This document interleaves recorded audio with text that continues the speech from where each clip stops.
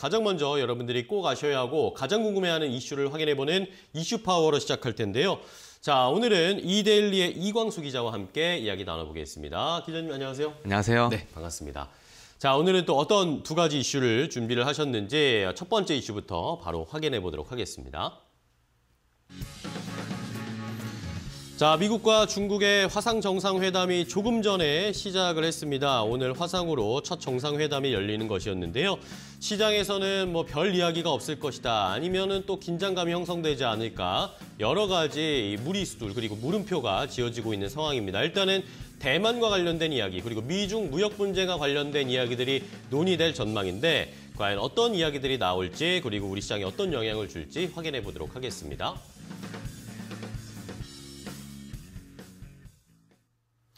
자, 첫 번째 이슈는 바로 미중 정상회담 이야기입니다. 뭐 화상으로 하는 첫 미중 정상회담이라서 이게 제대로 이루어질지도 네. 잘 모르겠고 도대체 화상으로 두 사람이 무슨 이야기를 할지 미국에서도 뭐 여러 가지 이야기들이 좀 나오고 있는 것 같습니다. 어떤 점은 우리가 좀 어, 포커스를 맞춰봐야 될까요?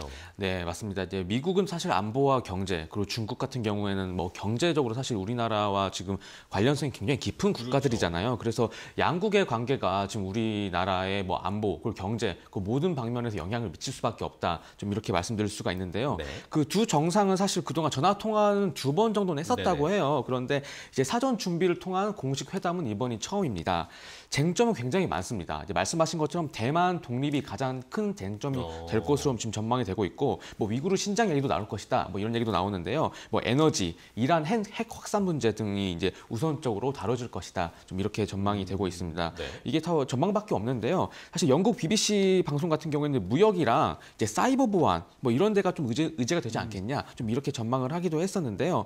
뭐 지금까지의 분위기를 봤을 때는 좀 낙관적인 기대감은 사실 갖기 어렵다. 좀 네. 이렇게 말씀드릴 수가 있습니다. 사실 이제 음. 어, 구체적인 합의나 해결이 없어도 그냥 그냥 갈등이 확산되지만 않아도 굉장한 성공이다 시장 측면에서는 네. 그런 얘기가 나오고 음. 있습니다. 지금 계속 이제 이제 그 정상회담을 앞두고 이제 미국과 이제 중국이 한 번씩 주고 받고 있거든요. 외교 뭐 관계 당국자들이 뭐, 뭐 이렇게 해야 된다 저렇게 해야 된다 하면서 음. 서로의 입장을 얘기하고 있는데 그런 분위기들이 지금 약간 어떻게 보면 굉장히 긴장 상태다 네. 이렇게 전망을 할 수 있기 때문에 뭐 다만 그래도 크게 이렇게 충돌을 할 것이냐 또 이런 얘기가 나오는 게 지금 바이든 대통령은 사실 이제 버지니아주 주지사 선거를 패배를 하면서 음. 지금 사실 무리를 할 수 없는 입장이다 이런 얘기가 나오고 있고 뭐 신핑 주석도 이제 내년에 베이징 올림픽이 있잖아요. 그리고 이제 뭐 3년임 확정 그런 당대회도 앞두고 있기 때문에 이런 곳에 지금 에너지를 당장 많이 쏟진 않을 것이다라는 음. 얘기도 있는가 반면에 오히려 그래서 더 갈등을 해서 내부 좀 결집을 할 것이다.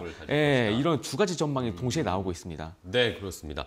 자 이러다 보니까 미국 내에서도 이 미국과 중국의 정상회담에 관련해서 뭐 어떤 이야기를 나눌 것인가 굉장히 좀 여러 가지 이야기가 나 구체적인 뭔가가 잘 잡히지가 않고 있습니다. 외신들을 찾아봐도 자 그렇다면 말씀해 주신 여러 쟁점들 가운데 가장 좀 핵심 쟁점이라고 해야 될까요? 가장 좀 충돌 가능성이 있는 건 뭐가 있을까요?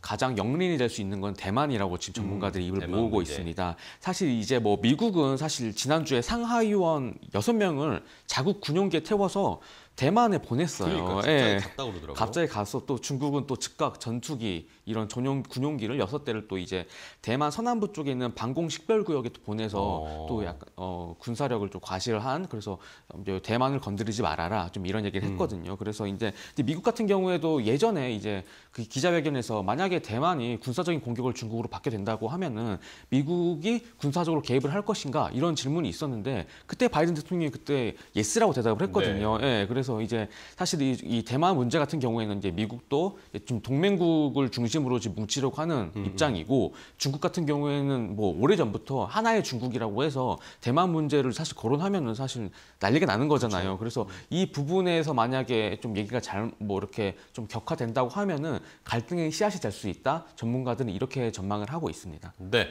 자 이렇게 뭐 뭐 큰 긴장은 아니지만 여기저기 좀 긴장감이나 뭐 폭탄 지뢰 같은 것들이 좀 심어져 있는 상황인데 네. 자, 근데 뭐 미국과 중국의 갈등 뭐 어제 오늘 일이 아닙니다. 그 전에 트럼프 대통령 같은 경우에는 아예 노골적으로 그냥 중국을 때리는 모습이었고, 뭐 바이든 대통령은 좀 다르지 않을까라고 얘기를 했는데 오히려 취임하고 나서도 계속 이렇게 중국의 이슈를 건드는 모습들이 계속 나오고 있습니다. 최근에는 어- 뭐라고 해야 될까요? 줄 세우기라고 해야 될까요? 어, 미국의 이 안보 그리고 동맹 국가들을 상대로 해서 중국을 계속 압박하는 이런 모습을 좀 보여주고 있는데. 자, 이런 것들이 만약에 오늘 뭐 이 회의에서 정상회담에서 뭔가 갈등의 측면이 또 불거져 나왔다. 이러면 우리 시장이 오늘 오후에 좀 영향을 받을 수 있지 않을까요?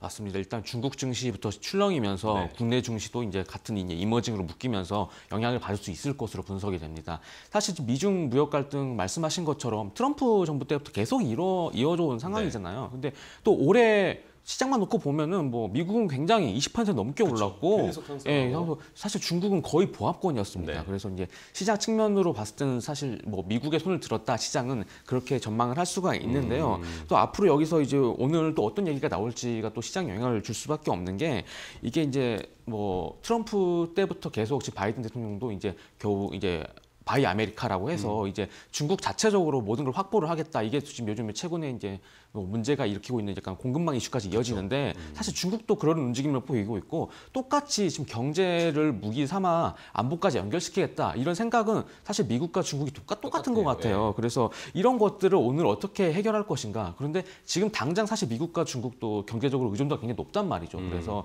이런 것들이 표면적으로 갈등이 되기보다는 이런 것들을 이제 깔고 나서 약간 이제 유화적인 제스처를 취하면서 저 후위를 도모하지 않을까 이런 전망도 나오고 있습니다. 그래서 앞으로는 이제 뭐 당장 2개월 미국과 중국의 그 사이를 끊기에는 막대한 비용이 발생하기 때문에 그런 것들을 좀 이제 강조할 것이다. 좀 이런 얘기가 나오고 있고요.